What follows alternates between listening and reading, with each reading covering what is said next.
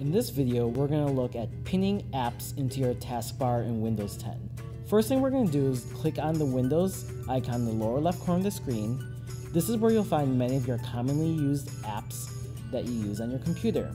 What we're going to do is we're going to pin Microsoft Word into our taskbar. Find Microsoft Word, right click on it, select More, and then go over to Pin to Taskbar. Now you'll see that Microsoft Word is at the bottom of your screen.